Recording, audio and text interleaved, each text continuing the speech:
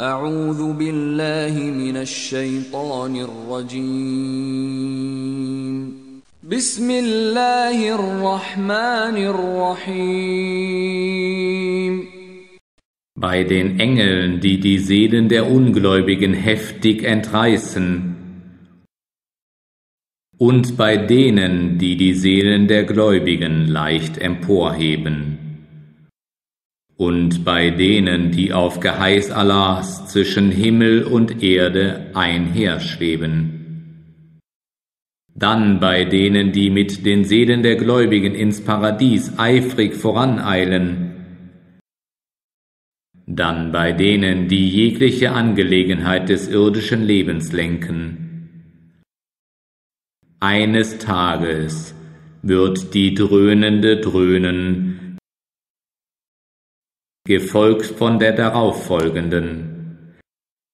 Herzen werden an jenem Tag zittern, und ihre Augen werden niedergeschlagen sein. Sie sagen, sollen wir wirklich in unseren früheren Zustand zurückgebracht werden?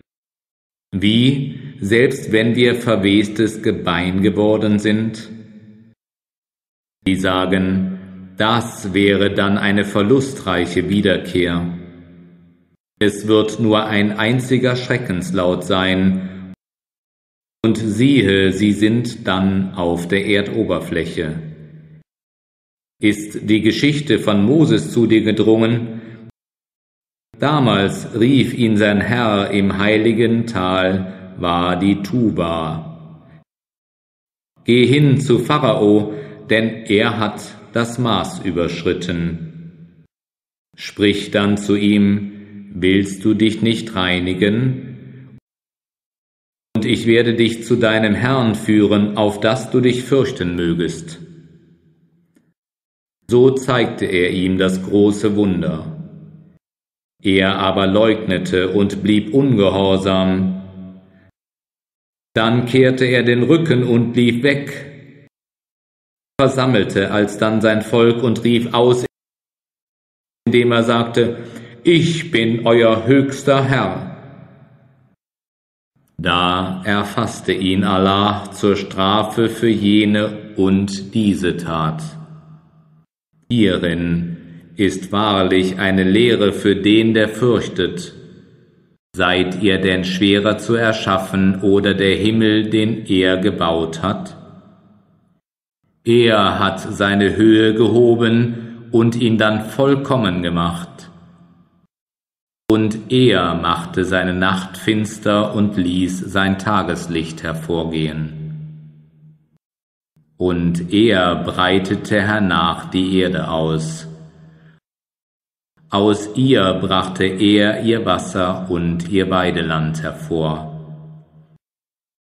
Und er festigte die Berge, dies alles als eine Versorgung für euch und für euer Vieh.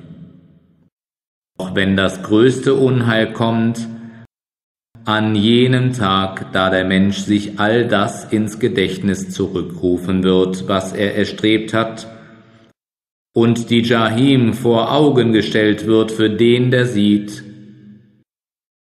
Was aber denjenigen angeht, der aufsässig war das irdische Leben vorzog, so wird wahrlich die Jahim seine Herberge sein. Wer aber das Stehen vor seinem Herrn gefürchtet hatte und die eigene Seele von niedrigem Gelüst abhielt, so wird das Paradies sicherlich seine Herberge sein. Sie befragen dich wegen der Stunde. Wann wird ihr Termin wohl sein? Was weißt du von ihr zu sagen?